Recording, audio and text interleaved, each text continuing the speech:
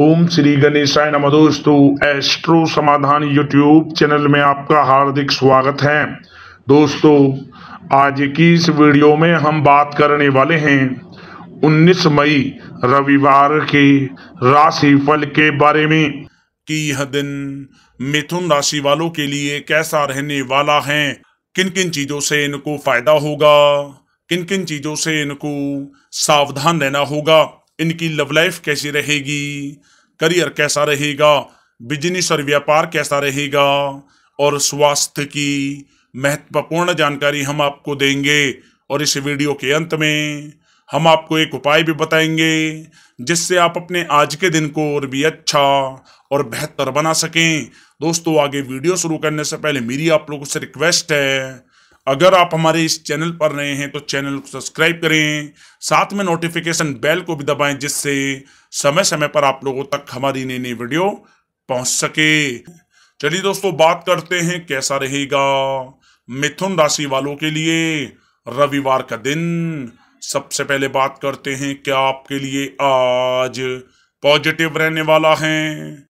दोस्तों, आज धन अचल संपत्ति इत्यादि को लेकर भी स्थितियाँ आपके काफ़ी अनुकूल रहने वाली हैं। यदि आप नौकरी करते हैं तो नौकरी में उन्नति के अच्छे अवसर आज आपको प्राप्त हो सकते हैं। दोस्तों, इस समय आप निवेश का भी नज़रिया अपना सकते हैं और निवेश कर आर्थिक स्थिति को और भी मज़बूत बनाने में आप सफल हो सकते हैं। दोस्तों, साथ ही साथ अपने माता पिता के साथ संबंधों को और भी सुधारने का प्रयास करें। इससे न केवल आपको भाग्य का साथ मिलेगा और आपके जीवन में तरक्की भी आएगी।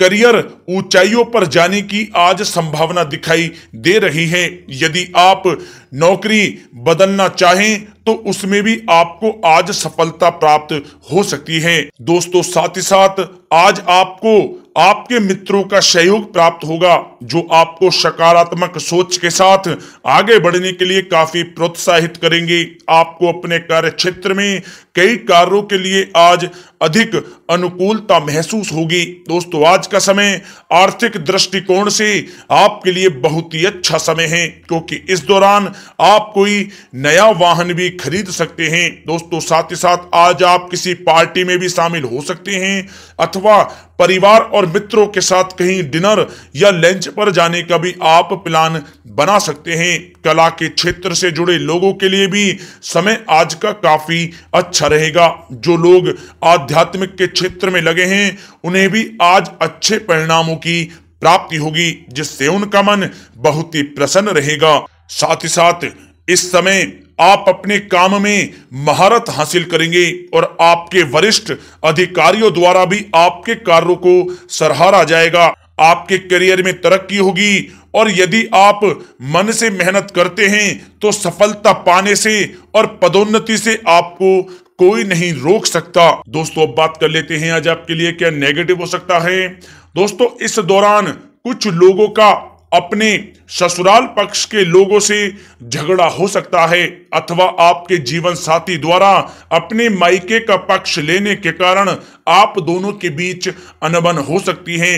इसलिए आज आप क्रोध पर नियंत्रण एवं वाणी पर संयम रखें, अन्यथा विवाद में फंस सकते हैं, थोड़ा सावधान रहें। दोस्तों, आपको इस बात का भी अवश्य ध्यान रखना चाहिए कि अत्यधिक आत्मविश्वास में पढ़कर कोई भी गलत निर्णय ना लें और अपने अधीनस्थ कर्मचारियों को भी किसी प्रकार का कष्ट ना दें। अन्यथा स्थिति आपके विपरीत हो सकती है। इसलिए दोस्तों, तैयार हो जाइए और संभावनाओं को सच में तब्दील करने के लिए, क्योंकि अभी का समय आपके लिए मेहनत करने का समय है। इसलिए आप जमकर पसीना बहाएँ अपनी जिम्मेदारियों के मूल को समझने में आपको परेशानी हो सकती है। इसके लिए आपको अपने परिवार के किसी अनुभव व्यक्ति से सलाह लेने की आवश्यकता पड़ सकती है। जी हाँ दोस्तों, कई बातों को लेकर आप आज चिंतित हो सकते हैं, जिससे शारीरिक तथा मानसिक रूप से आज आप अस्वस्थ का अनुभव कर सकते हैं। परिवार के सदस्यों के साथ आज अनबन भी हो सकती है। सकारात्मक सोच व आत्मविश्वास कार्यों में आज आपको सफलता दिलाएगा। या दोस्तों, आपके लिए आज आवश्यक होगा कि आप किसी भी निर्णय को लेने से पहले अपना पूरा समय लें और सोच समझकर ही समस्याओं का हल निकालें। और समस्याओं को हल करने के लिए पर्याप्त संसाधनों को जुटाएँ। पारिवारिक जीवन में आज चिंताओं की वृद्धि हो सकती है। लेकिन यदि आप सबको साथ लेकर चलेंगे तो समस्याएँ धीरे धीरे काबू में आ जाएँगी। दोस्तों, बात करते हैं आज आपकी लव लाइफ कैसी रहने वाली है। दोस्तों, आपके प्रेम जीवन में आज बाहर आएगी। आपको ज़रूरत है तो बस अपने आँख कान खुले रखने की जो अविवाहित हैं तो प्रेम विवाह के आज उनके लिए योग बनेंगे। प्रियतम से आज आप अपने दिल की बात साझा कर सकते हैं। दोस्तों, प्रेम संबंध आज अच्छे हो सकते हैं। मन के अनुकूल प्रेमी प्रेमिका मिलने की भी आज संभावना पाई जाती है। यदि आप किसी से प्यार करते हैं तो उससे अपने मन की बात भी आज आप शेयर कर सकते हैं। दोस्तों, प्रेम संबंधों को लेकर आप दोनों में काफ़ी उत्साह देखने को आज मिल सकता है।